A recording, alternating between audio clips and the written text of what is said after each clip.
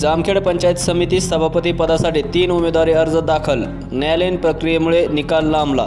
जामखेड पंचायत समिती सभापती निवडीसाठी तीन उमेदवारी अर्ज दाखल झाले आहेत. ऐनवेळी माजी सभापती प्राध्यापक सुभाष आव्हाड यांनी राष्ट्रवादी काँग्रेस प्रवेश केला असल्यामुळे राष्ट्रवादी काँग्रेस व भाजप दोन दोन समसंख्या झाली आहे.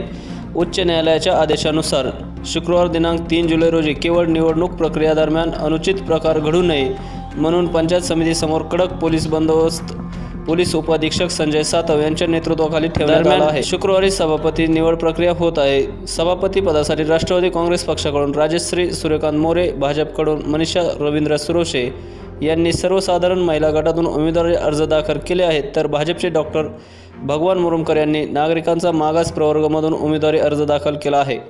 तीन वाजता अर्ज छाननी होत हो- झाली.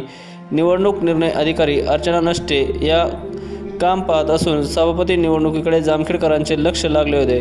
दुपारी तीन वाजता निवडणूक निर्णय अधिकारी अर्चना नष्टे यांनी सभापती पदासाठी सर्वसाधारण महिला आरक्षणासाठी दाखल तीन उमेदवार अर्जापैकी यांचा डॉक्टर भगवान मुरुमकर यांचा उमेदवारी अर्ज फेटाळला. निवडणूक प्रक्रियासंदर्भात त्यांनी अशीही माहिती दिली निकाल घोषित करता येणार नाहीत. यावेळी निवडणूक निर्णय अधिकारी अर्चना नष्टे तहसीलदार विशाल नायकवाडे पोलीस उपअधीक्षक संजय सातव पोलीस निरीक्षक प्रभाकर पाटील सहाय्यक पोलीस निरीक्षक निलेश कांबळे अवतारसिंग चव्हाण गटविकास अधिकारी परशुराम कोकणी आदी उपस्थित होते.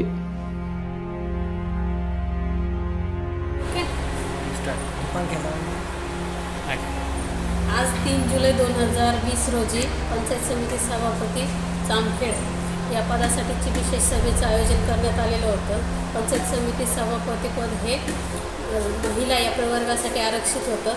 सकाळी अकरा ते एक या वेळेमध्ये नामनिर्देशन पत्र दाखल करण्याचे होते. त्यावेळे एक वाजेच्या वेळेपूर्वी तीन उमेदवारांनी नामनिर्देशन पत्र दाखल केले होते. राजश्री सूर्यकांत मोरे मनीषा रवींद्र सुरवसे आणि भगवान मुरुमकर हे तीन उमेदवारांनी आपलं नामनिर्देशन पत्र एक वा वाजण्याच्या वेळेपूर्वी दाखल केलं होतं. दुपारी तीन वाजता विशेष सभेला सुरुवात झाली. विशेष सभेच्या वेळी प्राप्त नामनिर्देशन पत्राची छाननी करण्यात आली. छाननीमध्ये मनीषा राजेंद्र सुरवसे आणि राजश्री सूर्यकांत मोरे यांचं नामनिर्देशन पत्र वैध ठरवण्यात आलं. भगवान सदाशिव मुरुमकर यांचं नामनिर्देशन पत्र हे महिला प्रवर्ग या प्रवर्गातील नसल्यामुळं आणि त्यांनी नामनिर्देशन पत्र हे नामाप्र प्रवर्गामधनं दाखल केलेलं असल्यामुळं सदस्य नामनिर्देशन पत्र हे अवैध ठरवण्यात आलं. त्यानंतर उमेदवारी अर्ज माघार घेण्यासाठी पंधरा मिनिटाचा वेळ देण्यात आला होता. नामनिर्देशन पत्र माघार घेतलेलं नाही. त्यामुळं जे वैध नामनिर्देशन पत्र प्राप्त होते. त्या दोन उमेदवारांची वर्णानुक्रमानुसार नावं लावण्यात आली. वर्णानुक्रमानुसार मनीषा रवींद्र सुरवसे यांच्यासाठी मतदान घेण्यात आलं. त्यानंतर सौ राजश्री सूर्यकांत मोरे यांच्यासाठी मतदान घेण्यात आलं. मात्र मान्य उच्च न्यायालयाच्या दिनांक तीस जून रोजीच्या आदेशान्वये मीटिंगची प्रोसिडिंग सुरू होईल. मात्र निकाल घोषित करता येणार नाही असं आदेशित केलेलं असल्यामुळं मान्य उच्च न्यायालयाच्या पुढील तारखेच्या आदेशापर्यंत मीटिंगचा निकाल घोषित करण्यात आलेला नाही. पंचायत समितीच्या सभापतीपदासाठी निवडणूक ठेवलेली होती. माननीय पीठासीन अधिकारी यांच्या अध्यक्षतेखाली निवडणूक प्रक्रिया पार पडलेली आहे. ही निवडणूक प्रक्रिया सकाळी सुरू झाल्यानंतर पोलिसांची कारवाई सुरू होती. बंदोबस्त वगैरे व्यवस्थित लावलेला आहे. एक दोन गाडी वर माणसं विना परवाना आणि कारण नसताना इथे फिरत असताना त्या ताब्यात घेतलेलं आहे. त्याच्यावर पोलिसांची कारवाई करायचं काम पोलीस स्टेशनला सुरू आहे. आता ही निवडणूक प्रक्रिया शांततेत पार पडलेली आहे.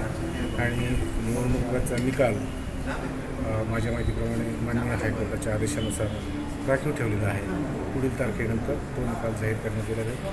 निवडणुकीची आजची प्रक्रिया शांततेत पार पडलेली आहे. सर्वांनी सहकार्य केलेलं आहे. त्याच्यामुळे सर्वांचे आभार व्यक्त करते सर्व राजकीय पक्षांचे. आणि पत्रकार बंधूंचे शांततेत पार पडलेले आहे. सर त्या दोन गाड्या कोणकोणत्या होत्या? त्या दोन गाड्या फोर गाड्या आहेत एका गाडीला तर नंबरच नाही आणि एक गाडी एम एच झिरो सोळाचीच आहे त्यांच्यावर कारवाई करायची चा चालू आहे. त्या गाड्यांवर विनाकारण लोक त्यामध्ये किती नागरिक होते? त्याच्यामुळे तीन चार तीन चार लोक आहेत. त्यांच्यावर कारवाई करायचे काम पोलीस स्टेशन चालू आहे. त्यांना ताब्यात घेण्यात आलेलं आहे. हो चालेल